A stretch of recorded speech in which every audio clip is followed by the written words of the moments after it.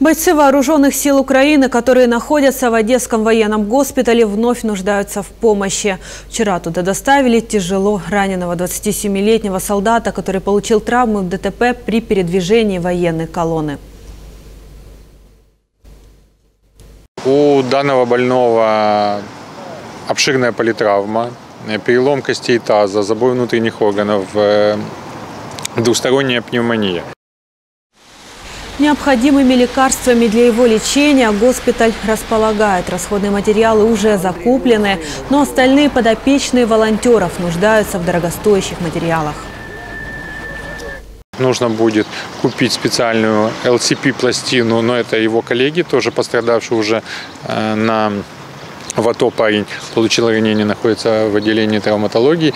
И в отделении урологии сейчас будет проведена операция. Тоже нужно будет для э, АТОшника помочь э, купить расходные материалы для операции. Все, кто желает помочь волонтерам приобрести все необходимое, могут перечислить средства на карту. Ее номер вы видите на своих экранах.